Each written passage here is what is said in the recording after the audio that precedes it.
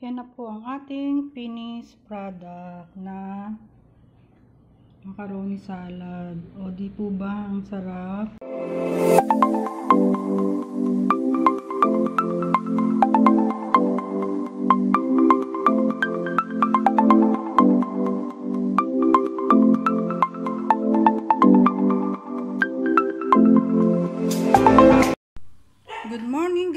Guys! Welcome to my channel. At ngayon ay gagawa tayo ng creamy macaroni fruit salad. Dahil malapit na po ang Pas ang Pasko. Dahil malapit na po ang New Year, eh gagawa na po tayo ng macaroni. So, abangan nyo po at magluluto na tayo. Hindi ko na po ipapakita yung mukha ko. Mamaya na lang po. Hi! Good morning! Welcome to my channel! Good morning, good afternoon, and good evening sa mga televiewers. At ngayon ay gagawa tayo ng macaroni fruit salad. Creamy po siya ang gagawin natin. Dahil malapit na po ang New Year, ay umpisa na po natin magluto. Ito po na kaong na gagamitin natin ay galing po sa Pilipinas. Tsaka po ito na fruit cocktail galing po ng Pinas. Binili ko po doon sa Philippine product. Ayan. So guys, magluluto na tayo. Arat na! Sa kusina na tayo. Ito ang ating mga gagamitin. Macaroni, fruit, uh, mixed fruit. Iyan na lang po ang gagamitin natin dahil hindi po ako nakabili ng Nestle cream. Ito po ang 2 days. Ito po ang gatas. At ito ang kao. Ito naman ang cheese at mayonnaise. So, let's go! At ayan guys, magpapalkulo na tayo ng tubig. Ayan. Lagyan po natin ng asin.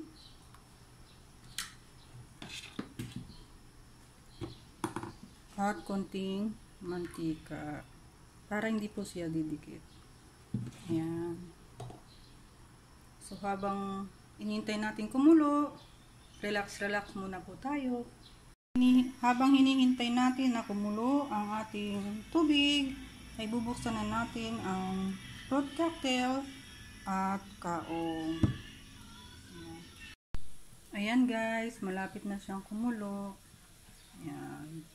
At ilalagay natin ang macaroni. Nilinis ko na po yan. Ayan, malapit na siyang kumulo. Konting-konti na lang. Ayan guys, kung lungkulo na siya, lalagay na natin ang macaroni.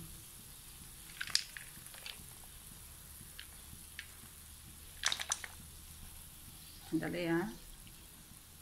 Ayan guys, kumukulo na siya. At ilalagay na natin ang macaroni.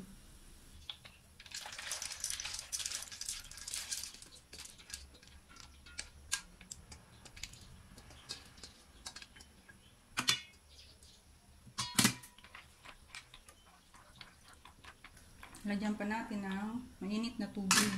Habulan. Ito po mainit na tubig. Kahabulan lang po natin. Ayan guys, kumukulo na siya. Kailangan nahalo para hindi dumikit. Ayan na guys, umaalsa na siya. Medyo matigas pa naman siya. Ihahapkok lang natin para masarap. Hindi po pwedeng lutong-luto. Hindi na po siya masarap. Kailangan po laging hinahalo para hindi magdikit. Ayan guys, malapit nang maluto. Konting-konti na lang. Hindi na natin sa lalagyan ng tubig. Kasi malapit na siyang maluto. Ayun guys, luto na. Malambot na siya. Tinikman ko na. Luto, luto na po ang ating pasta. Mahangawin ko na po. Okay na po yung lambot niya. Hindi po matigas at hindi din po malambot. Hindi po malambot na malambot. Hi guys, i iwis muna natin ng konti ang cream. Ayan, okay na po siya. Sticky na po siya. Ayan na po, napul po kasi yung napul po kasi yung isa kong handphone kaya gumamit na naman po ako ng isang handphone. Okay na po yung pagka-sticky nito guys. Okay na yung sticky niya yan. Pwede na siya. Ilalagay na natin siya sa macaroni. Ayan na lahat. Ayan na po lahat ang gagamitin natin guys. At umpisa na po natin i-mix sila. Okay, dito po natin i-mix. Ito po yung cream na nakalagay po sa whisk. Nilagay ko po dito. So, let's go. I-assemble na po natin. Lagay na po natin ang macaroni. Isunod po natin ang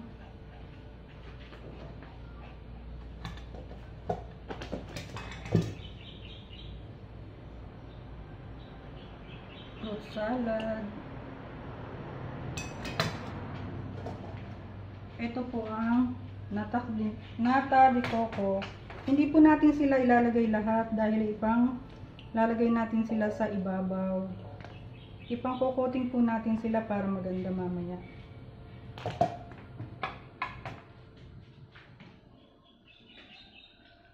Haluin muna po natin. Yan.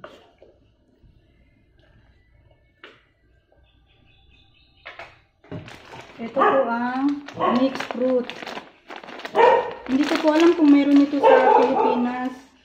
Yung mixed fruit po yan. Ito po ang mixed fruit. Ito po ang nakakapagpasarap dito sa macaroni ko.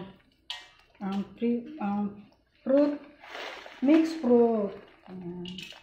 Hindi din po natin sila ilalagay lahat. Kasi panlalagay po natin siya sa ibabaw mamaya. At ito po yung mayonnaise. Ilagay na po natin lahat para masarap siya. Haluin po natin. Ang sarap guys. Dalawa pong uh, gatas ang ilalagay natin. Hindi naman po kasi matamis na matamis yung gatas na nilalagay ko. Meron kasing gatas dito na nabibiling na super super tamis. Ito po eh hindi. Ito po pangalawang gatas na po. Ngayon ay isusunod natin ang cream na ating ginawa. Ayan. Ang sarap po nito, ang dami. Kumuha po ako ng spatula para masimot natin lahat itong cream natin. Sayang po kasi pag hindi masusut masisimot. Ayan, at nalagay na po natin lahat.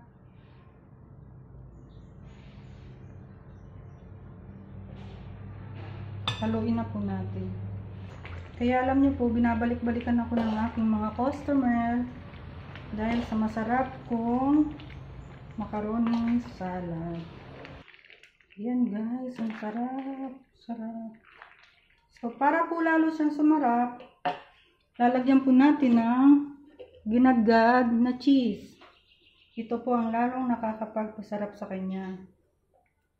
Ayoko po ng cubes, yung nilalagay po na cube, kasi mas masarap po yung gadgad. Talagang malalasahan niyo po ang cheese. Konti lang po, dahil mamaya eh, pangkukoting naman din po natin sa sa ibabaw. Kasi may mga umorder po ng macaroni salad. At yung matitira po, eh, yun na lang po yung sa amin sa New Year. So, nakapagbenta ka na, may kakainin ka pa po. Ang sarap po, oh, ang sarap. Ang sarap po ng macaroni ko. Yan, creamy na creamy. Yan guys, ang aking macaroni, ma fruit salad. Macaroni fruit salad po yan. Yan. So, hintayin nyo po kung paano ko gagawin ang pagbebenta. At ang matitira eh, yun na lang po ang sa amin sa Pasko. Ito na po ang paglalagyan natin. Huwag niyo pong kakalimutan ng timbangan para hindi po kayo ma malugi. Ayan, pagawa na po tayo ng nakagawa na po tayo ng sampo. Ayan. So, ilalagay ko naman po ito sa isang tupperware. Ngayon guys, yung natitira ay ilalagay natin dito sa tupperware. Kasya na po ito sa amin New Year. Sayang po eh. Simutin natin. Ayan na nga po guys ang ating nagawa. Pwede na po ito sa Year. So kung gusto niyo pong magbenta, i-costing nyo lang po lahat ng magagastos ninyo at kung magkano nyo po ibebenta ang bawat isang tube. Ayan na po yung mga tube na nagawa natin. At ayan guys, nagawa na po natin sila lahat. Kaya hindi ko po inubos yung lahat ng ganito ay ipangtatapin po natin. Saka po itong mixed fruit. So lalagyan na po natin sila bawat isa ng cheese sa ibabaw. Kaya po hinahanap-hanap nila ang aking macaroni salad. Hinihinga po ako. Nag-iisa po kasi ako nagluluto. Tulog pa po kasi sila. Dagdagan po natin ng cheese para hindi po sila mag-complain. Ayan. Ayan. At ngayon ay ilalagay natin ang malinis naman po yung kamay ko. Lagi po ako maghugas ng kamay. Kada na, nalalagyan ng ano, ay tawag ito. Basta nalalagkitan po ako, naghuhugas kagad po ako ng kamay. So lalagyan naman po natin ng mixed fruit sa ibabaw. Pinaka-toppings po natin.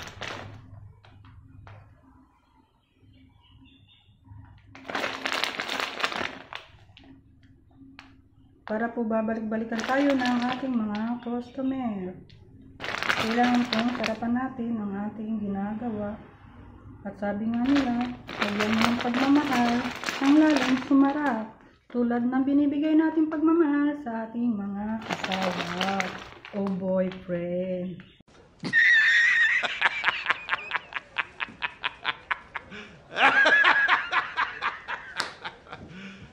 You serious? O, diba? Hugot pa, ate. Hugot pa. Ayan, guys. Natapos ko na. Buksin na natin to sa kanila. Dahil sa akin naman, eh, meron naman pong nakatabi. Lalagay natin dito sa... Ayan. Ubus na, guys. Inubos ko na lang. Para hindi naman sila magreklamo. Ayan. So, ngayon, Nakikita nyo po ba? Lalapit natin. Ayan po. Ayan, ayan. So, nakikita nyo po ba? Ang sarap. Ayan. Tapos, lalagyan naman po natin sa ng ito kaong. Lagyan po natin siya ng kaong sa ibabaw. Para maganda po siyang tingnan. Parang Pasko po siya. Christmas tree. O, diba? Ang gandang tingnan. O, guys, diba? Ang gandang tingnan. O, ayan. At ngayon, guys, ay ito naman ang ating gagawin. May natira pa pong cheese. Lagay po sa ibabaw.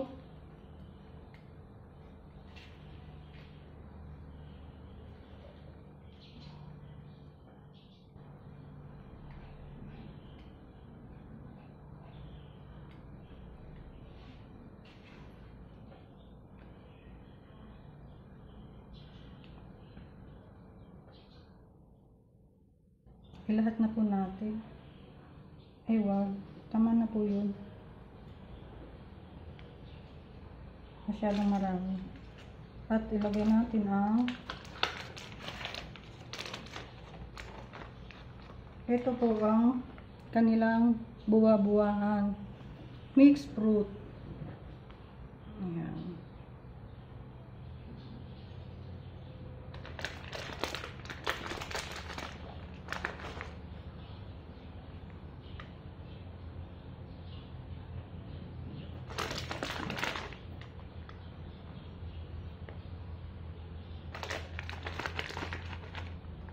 Okay.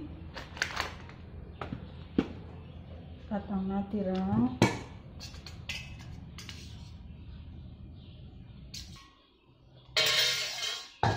Ayan na po ang ating finished product. Ayan. Di po ba ang sarap? So, hanggang dito na lang guys. Happy New Year sa lahat.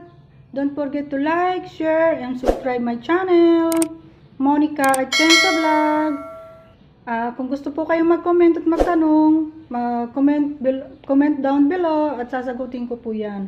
So, ilagay nyo lang po yung mga white ninyo at eh, so subscribe ko po kayo balik. Bye-bye!